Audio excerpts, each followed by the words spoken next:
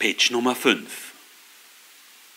Oh, jetzt, wird der, jetzt, kommt ein, jetzt kommt ein ganz schlimmer Abschnitt. Übrigens haben wir die Titel vergessen.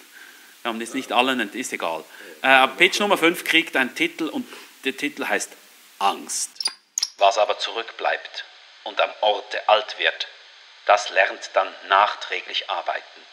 Und zwar jene krabbelige Arbeit von tausend kleinen Dingen, die man eigentlich nicht gelernt für den täglichen Kreuzer. Und die alternden, verarmten Seldwyler mit ihren Weibern und Kindern sind die emsigsten Leutchen von der Welt, nachdem sie das erlernte Handwerk aufgegeben und es ist rührend anzusehen, wie tätig sie dahinterher sind, sich die Mittelchen zu einem guten Stückchen Fleisch von ehedem zu erwerben.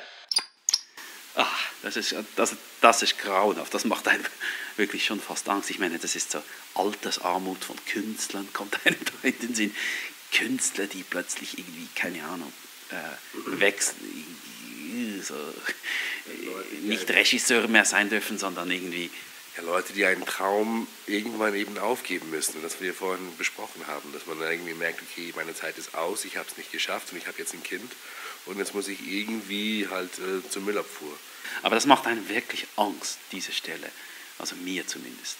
Äh, und die treibt sehr wahrscheinlich einem vor, vorwärts, oder diese, die treibt einen in der Nacht, äh, in der Stunde des Wolfs, Ingrid, Ingmar, nicht Ingrid Bergmann, Ingmar Bergmann, einen wunderbaren Film, Die Stunde des Wolfs, das ist die Zeit zwischen drei und vier, wo man aufwacht und dann hat man solche Ängste, wie bei diesem Pitch Nummer 5 zum Thema Angst thematisiert wurde. Ja, bist du einverstanden, dass wir weitergehen?